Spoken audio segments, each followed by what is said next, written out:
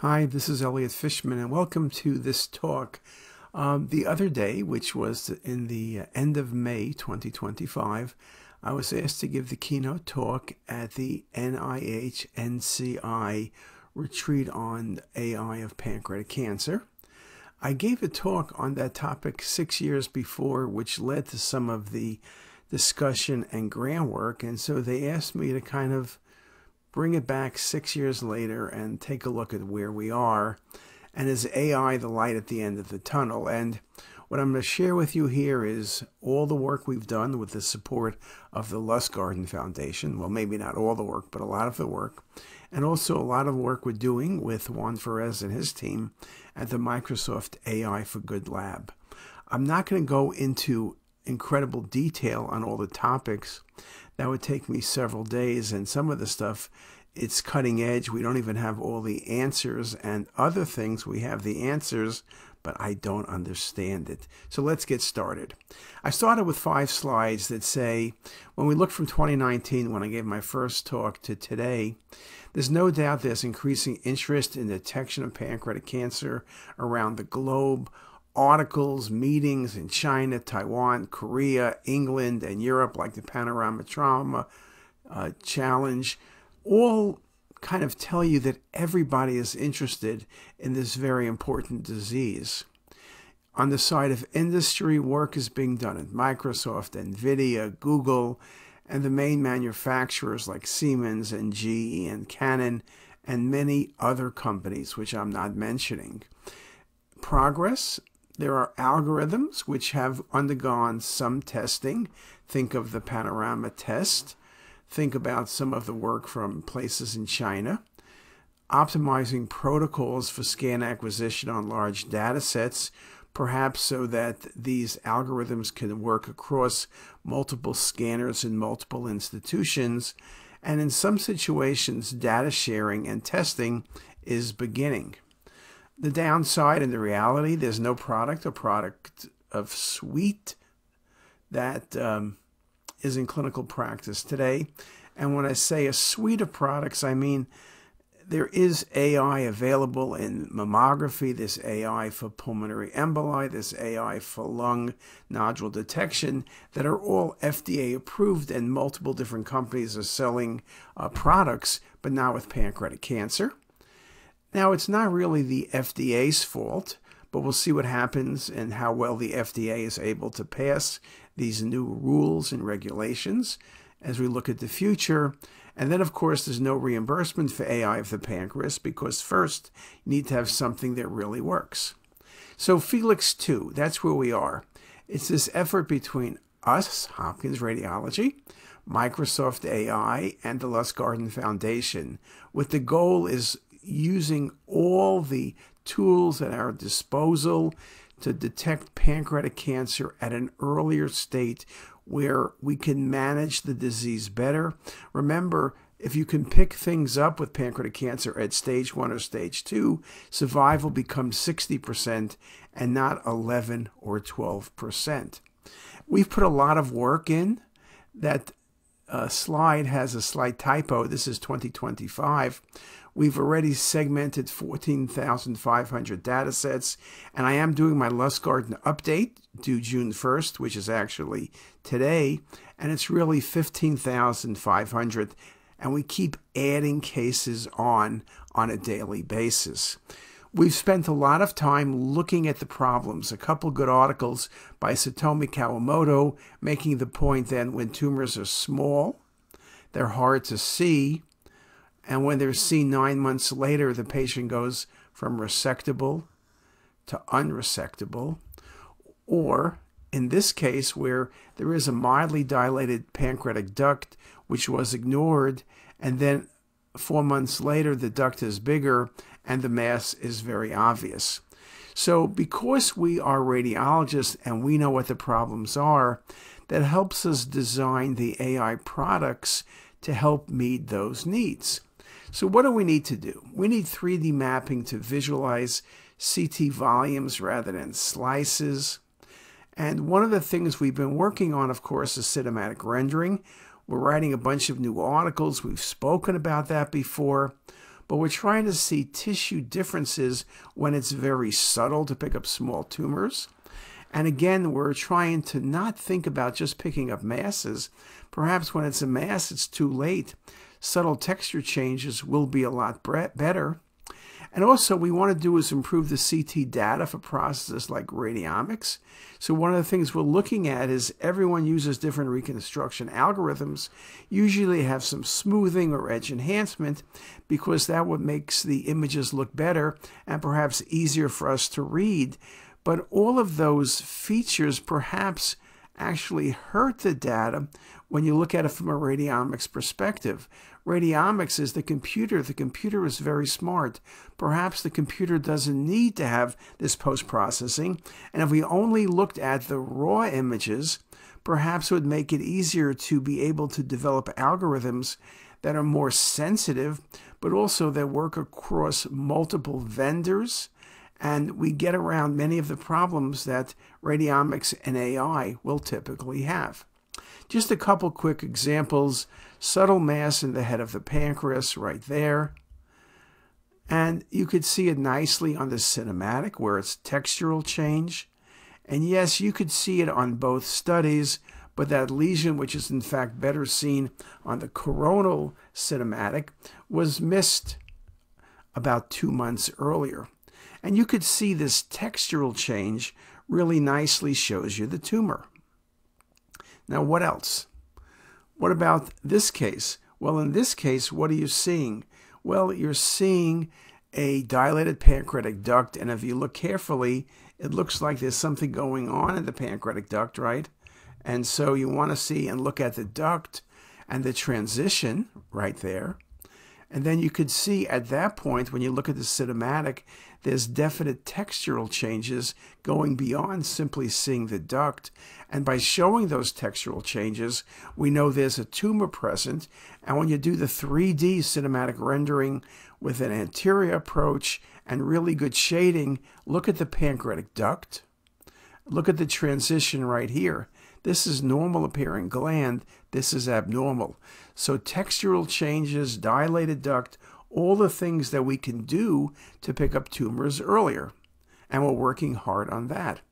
Or in this third case, dilated pancreatic duct, lesion in the body of the pancreas, right, right there. Again, transition of the duct, low density, not a difficult case, but just to show you how it looks with the cinematic rendering. So you get a good feel of exactly what is going on in this case. Just a really nice example. And here's one more set of images. So we are working on cinematic rendering. The goal is to not just have the radiologist be able to create the images, which takes time, experience, and potentially bias, but to teach the computer how to create the images. And in that sense, if the computer creates the images, more people will be able to use it. So I think one of the things we're speaking about is being able to have computer generated imaging. That becomes very, very important. And it's been done for things like knee fractures, but that's easier. It's much harder to look at the texture of a pancreas and have the computer choose the right parameters, but it's something we're looking at. Now, the next thing is radiomics.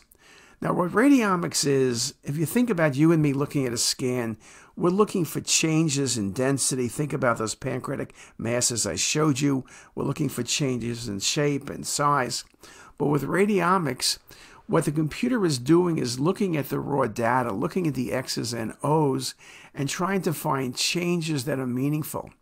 With radiomics, we actually can analyze 50,000 or even more parameters, and we'll do that to start, but then get down to the critical parameters that help us make specific decisions. Is the pancreas normal or abnormal? Is there a mass present? What kind of mass is it? A cyst, a neuroendocrine tumor, a pancreatic adenocarcinoma. And we also use radiomics as a way of predicting response to chemotherapy and response to surgery, which are all works in progress, but have really, really, really good potential. So that becomes a very important part of what we're doing. Now, here's a good article on radiomics, but it makes the point how you need to look at the data and come up with features.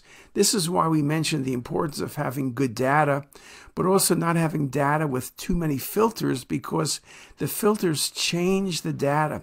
So we think if we look at native raw data, which maybe isn't as pleasing to you and me just looking at it, maybe to the computer it will be actually a lot better. So when we did the initial work on radiomics for pancreatic cancer, this article by Linda Chu, what we showed is how we looked at different parameters, shape, textures, filters, and the like. And we were able to do is look and find a fingerprint. And we found that a tumor looks different than a normal gland. And so you're now thinking about the texture appearance and the fingerprint. Can we find a fingerprint that has pancreatic cancer? And in that study, we were like 99% accurate.